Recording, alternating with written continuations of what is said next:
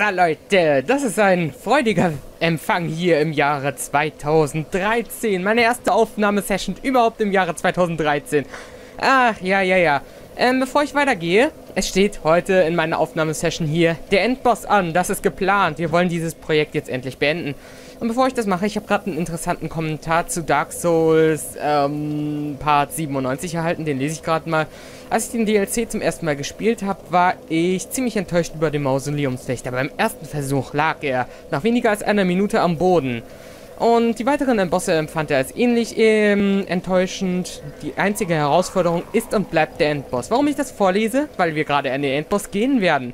Faun, ähm, weiß nicht, ob ich den Namen richtig ausgesprochen habe. Die Zahlen sage ich jetzt nicht, weil ich habe jetzt wieder meinen Playstation-Bildschirm aktiv. Ich, ähm, hoffe, ich kann nicht beim Wort nehmen, dass äh, der Endboss eine sehr große Herausforderung wird. Aber andererseits, wie? Wie? Mit welcher Ausrüstung schafft man es, diese Bosse, die wir in den letzten Parts hier erleben durften, mit einer, äh, in weniger als einer Minute zu erledigen? Ich, äh, nein, ich verstehe das nicht ganz. Muss man da irgendeine Ausrüstung für haben oder so? Ich meine, ich habe ein ziemlich hohes Level, finde ich. Also ich kann nicht, äh, ich weiß nicht, wie das möglich ist. Tut mir leid. Naja, auf jeden Fall, warum ich den Kommentar vorgelesen habe, war in erster Linie wirklich, um anzumerken, dass jemand den Endboss als größere Herausforderung als die DLC-Bosse bezeichnet. Und dem will ich jetzt auf den Zahn fühlen, ob das wirklich der, äh, der Wahrheit entspricht. Dementsprechend würde ich mal sagen, gehen wir weiter in diesem Let's Suicide in der wahrscheinlich letzten Aufnahmesession. Schreiten wir voran. Hier ist der Feuerbandschrein. Und dann gucken wir mal, wir müssen zur Schlange. Da schläft die. Hey, aufwachen. No, no, I'm fine. I'm fine. Well and wide awake.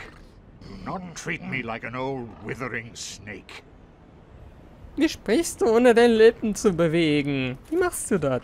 I am pleased to see you well. Is it something urgent? Ja. Äh, ich kann ihn mit Brocken füttern und so weiter und mit ihm reden und so weiter. Ähm, was wollen wir? Very well. Then stay still for a moment. Hieß das schon immer teleportieren? Hieß das nicht irgendwie reisen? Äh, nach unten hinab? Oder so? Ich dachte es.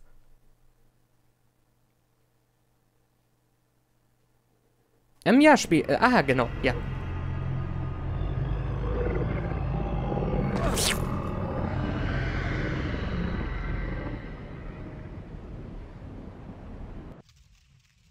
Keine Ahnung, ob ich meine Geräusche an dieser Stelle rausschneiden werde oder ob ich sie drin lassen werde. Vielleicht werde ich auch eins rausschneiden und das andere drin lassen. Oder umgekehrt, wer weiß. Wir haben auf jeden Fall erstmal die Tiefen erreicht, wo unser Let's Suicide wahrscheinlich enden wird. Ich weiß ja nicht, inwiefern man hier nochmal rauskommt. Auf jeden Fall haben wir hier das Herrschergefäß, wo wir die ganzen Seelen darbieten werden, die Fürstenseelen. Und das machen wir jetzt erstmalig. Also los! Herrscher, äh, Herrschergefäß Seelen darbieten.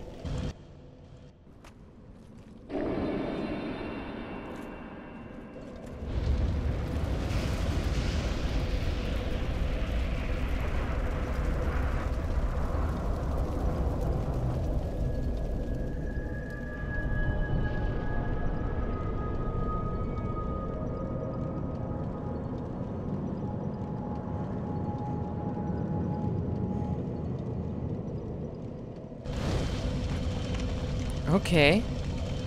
15 Estes haben wir. Ich glaube, das Ding kann man noch, ähm... Nee. Das Ding kann man nicht verstärken. 20 Estes? Oh. Oh, oh, vergiss es, vergiss es. Aber haben wir nicht eben daran gerastet? Egal, vielleicht wegen der äh, Fürstenseelen, die wir da geboten haben, ist das jetzt ein schwarzer Ritter?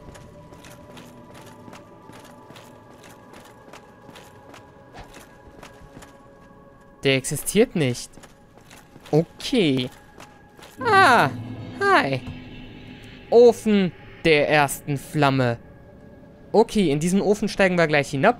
Ich muss nur noch gerade mal gucken, weil ich so komische Geräusche höre von wegen, äh, Aufnahme beendet. Aber nein, passt alles. So, okay. Denn diese Momente will ich mir jetzt nicht durch irgendwelche Aufnahmeschnitzer ruinieren lassen. Na, Grabber, du weißt es ja. Du hast bei Dark Souls Part 7 das allererste Mal in deinem Leben rumgespackt neben dem Mikro. Äh, ja, das, der Grabber lebt. Und bitte gewähre mir das Projekt wenigstens, wenn es äh, schon so schändlich angefangen hat, es wenigstens glorreich zu Ende zu führen. Mit einer letzten gelungenen, ununterbrochenen Aufnahmesession. Ich muss ja sagen, im Gegensatz zum Anfang dieses Let's Suicides ist der Grabber ja am Ende ziemlich gnädig gewesen. Und wir haben hier schwarze Ritter. So. Verprügeln wir dich. Okay. So wie ich das sehe, wenn wir hier kein Leuchtfeuer haben, müssen wir sowieso immer mal wieder gegen die kämpfen, um gegen den letzten Endboss anzutreten, wenn er denn kurz nach diesem äh, Gebiet käme. Kann natürlich sein, dass wir noch 30 Parts brauchen, aber soweit ich weiß, soll die letzte Gegend nicht groß gewesen sein. Das allerdings habe ich mich nicht sehr spoilern lassen. Na, Schwarzritter Großschwert und Grauer Brocken. Ich wurde nur vorgewarnt, dass ich mir nicht zu viel von diesem Ofen erwarten soll, in dem wir jetzt drin stecken. Also nicht so viel an Länge halt. Ich glaube, ihr versteht schon, was ich damit meine. Dass der Endboss wohl ziemlich schnell kommen soll. Aber das hängt natürlich auch immer davon ab, wie gut man mit den Gegnern dazwischen drin fertig wird. Und ich glaube, wir können mit diesen guten, äh, mit, diesen guten, nein, mit diesen bösen Gegnern zwischendrin ganz gut fertig werden eigentlich. Denn wir haben gerade das DLC hinter uns und entsprechende Level-Ups schon wieder. Hey, wow. Das ist ein riesen Schwert, was er hat. Einen Schlag verpassen wir ihn noch. Der ist ziemlich langsam damit. Ich glaube, wir sollten kaum Probleme gegen ihn haben. Ein Schildbash kann uns noch ein bisschen aus der Fassung... Nee, sein Schildbash ist langsam. Ich dachte jetzt so Silberritter-Schild-Bash-mäßig, von wegen zieht die äh, fast die ganze Ausdauer und wird so schnell ausgeführt wie sonst was. Roter Brocken. Wir halten auf jeden Fall sehr viele Materialien von den schwarzen Rittern. Die sind definitiv gebefreundlicher als die Silberritter. Obwohl ich nicht mal den Schlangenring ab, äh, angewählt habe, der mir Materialien gibt, wenn, also äh, vorzüglich Gegner Sachen droppen lässt. Das meine ich. Äh, den Talisman brauchen wir gar nicht mehr. Wir legen den ab. Und ansonsten... Ring wollte ich gucken. Havels Ring. Ich behalte den mal. Äh, nein, tue ich nicht. Weil Agilität gibt er mir bloß bei gewissen Rüstungswerten, die ich nicht einhalten kann, wenn ich die, äh, wenn ich nicht den Helm des Vaters habe, glaube ich.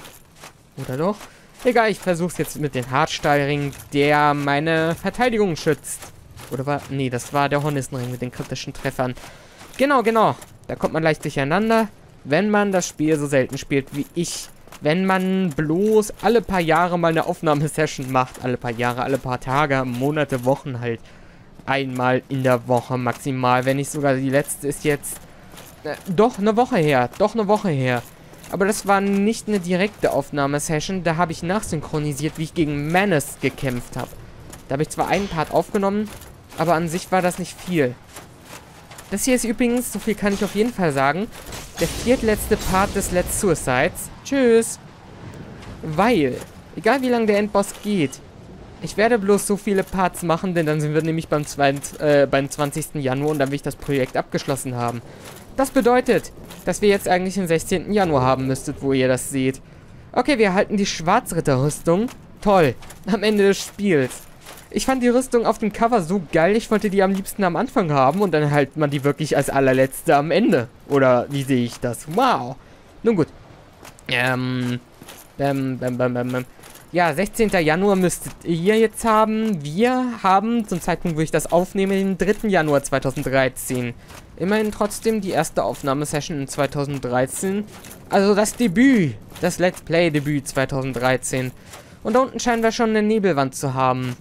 Okay, das ist wirklich nicht groß. Wenn das denn der Boss ist, könnte natürlich sein, dass es eine traditionelle Gebietsnebelwand ist, wie wir sie allzu oft hatten, oder irgendwelche Zwischenbosse, wie sie auch in der Lava-Gegend nicht selten anzutreffen waren.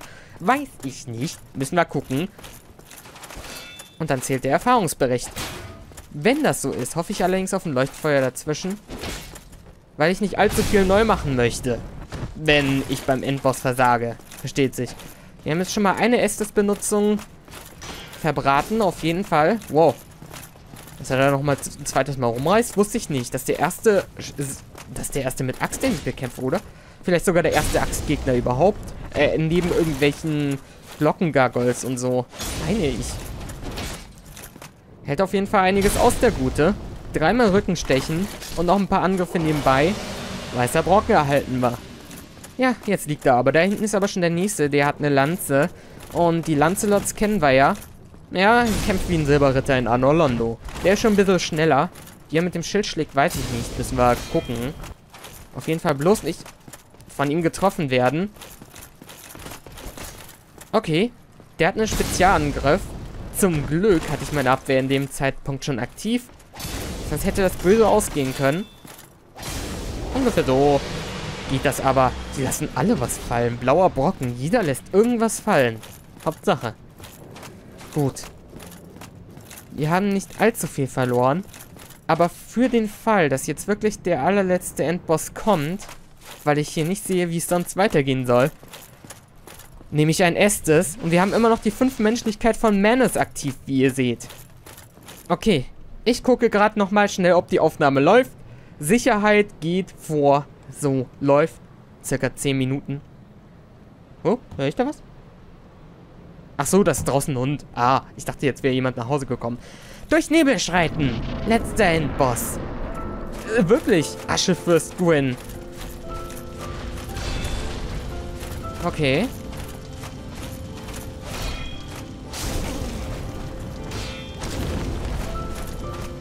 Ich mache ihm ein, um einiges mehr Schaden als normalen Bossen im DLC. So viel steht schon mal fest an diesem Punkt. Keine Ahnung, ob er jetzt so viel Schaden macht. Bis jetzt sah es noch ganz human aus, eigentlich. Okay. So, ich gehe mal ein bisschen auf Abstand und nehme Estes. Das hat er mir ein bisschen verwehrt.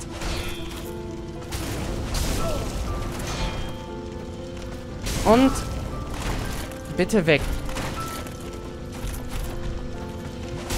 Jetzt nehme ich Estes. Wir müssen auch bedenken, wow, dass ich Menschlichkeit aktiv hatte, als ich gegen ihn gekämpft habe jetzt. Okay. Zu unterschätzen ist er nicht.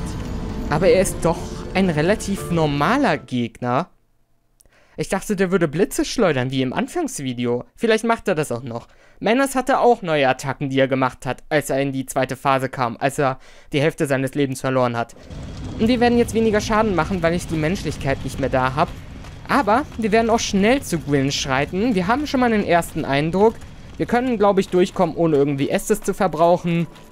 Und dementsprechend würde ich sagen, steht dem der Vermutung, dass das einer der vier letzten Parts ist, wahrscheinlich nichts im Wege, weil so viel Schaden, wie ich dem mache, muss ich jetzt eigentlich nur noch sein Angriffsmuster kurz rauskriegen und dann war's das. Nee, also ich sehe da jetzt nicht das Problem.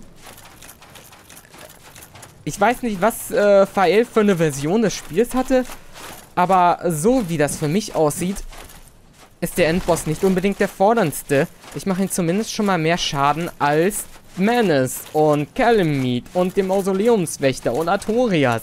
Jeder Gegner im DLC hatte mehr Schaden, äh, weniger Schaden durch mich bekommen als der jetzt. Wow, der hat gerade meine ganze Ausdauer gesprengt mit einem Schlag. Dieses Schwert ist wirklich heftig. Die rennen mir alle hinterher. Okay, ich sehe auf jeden Fall ein großes Problem auf mich zukommen, was das Umrennen dieser, also Wegrennen vor diesen Gegnern angeht, denn sie haben wirklich eine Geschwindigkeit drauf, die muss man beachten. So, sind nicht solche langsam wie im Mausoleumsgarten. Okay, okay. Dann bin ich falsch gelaufen.